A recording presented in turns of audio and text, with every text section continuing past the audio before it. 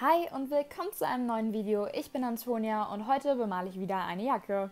Das Ganze wird aber mehr ein Speeddrawing als ein Tutorial, weil ich habe euch ja schon mal Schritt für Schritt erklärt, was genau ich mache. Ihr werdet es hier jetzt zwar sehen, aber ich erkläre es nicht so genau.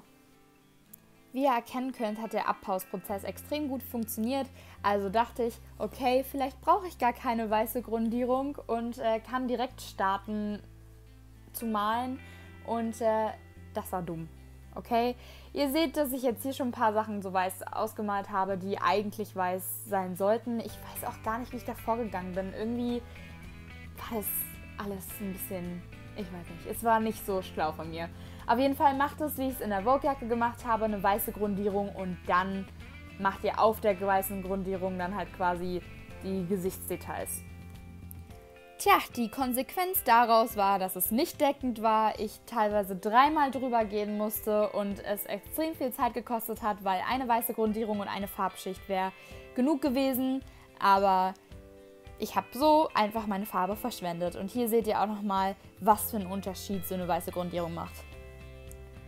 Gut, also nochmal, nehmt euch dieses Video nicht als Vorbild, guckt euch das Vogue-Jacken-Video an, wenn ihr wirklich eine Erklärung haben wollt ich bin da so ohne Plan vorgegangen und ärgere mich im Nachhinein auch echt über mich selber, weil ich halt meine Zeit verschwendet habe.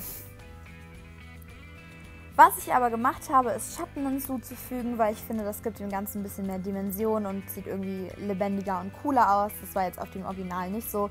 Mir hat es so aber besser gefallen, deswegen habe ich es gemacht. An dieser Stelle möchte ich auch das Video nutzen, um ein paar Fragen zu beantworten. Unter anderem wurde ich gefragt, woher ich meine ganzen Materialien habe. Das meiste ist tatsächlich von dem Künstlershop Idee. Das liegt jetzt nicht daran, dass es mein Lieblingskünstlerladen ist, sondern einfach, weil der sehr zentral ist und ich echt oft in der Gegend bin. Und immer wenn ich dort bin, gehe ich auch zur Idee rein und immer wenn ich in Idee bin, muss ich was kaufen. Das ist ein echtes Problem. Ich gebe zu viel Geld für Künstlersachen aus. Dann wurde ich noch gefragt zum Thema Taschenbemalen, wie sehr der Lack den man am Ende drauf gibt, die Bemalung wirklich schützt.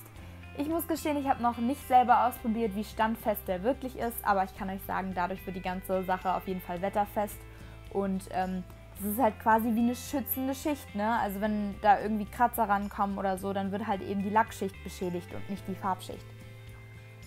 So, der Tigersche Kanos Dschungelbuch ist fertig. Das ist hinten auf dem Rücken. Und jetzt kümmere ich mich um die Tasche vorne. Da kommt Kadi-Schlange drauf. Da habe ich mir ein paar Inspirationsbilder rausgesucht und mir daraus was gebastelt und mit so einem Kreidestift drauf gemalt.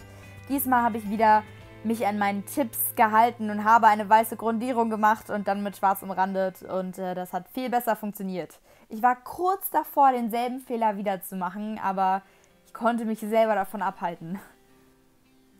Die letzte Frage, die ich beantworten möchte, ist, äh, wie lange ich schon male. Ich plane da irgendwann mal ein ausführliches Video drüber zu machen, aber ich male seitdem ich 15 bin und habe mir alles selber beigebracht durch Bücher, durch Videos und eben durch ganz viel Übung.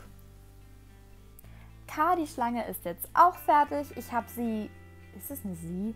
Auf jeden Fall, ich habe die Schlange mit einem Bronzeton umrandet. Das hebt äh, das Ganze nochmal ein bisschen hervor. Und mir gefällt es jetzt auch. Ich war zwischendrin echt unzufrieden und ein bisschen frustriert. Aber jetzt ist alles okay. So, jetzt habt ihr hier zum Schluss noch eine Nahaufnahme von beiden Motiven auf der Jacke. Ich habe sie jetzt nicht angezogen, denn sie ist eine Männerjacke und gehört auch nicht mir, offensichtlich. Aber ich habe sie mal anprobiert und sie hat so einen richtig coolen, lässigen Boyfriend-Style, wenn ich sie trage. Vielleicht mache ich mir so eine mal selber, da hätte ich echt Lust drauf. Und äh, dann würde ich sagen, vielen Dank fürs Zuschauen und wir sehen uns hoffentlich im nächsten Video wieder.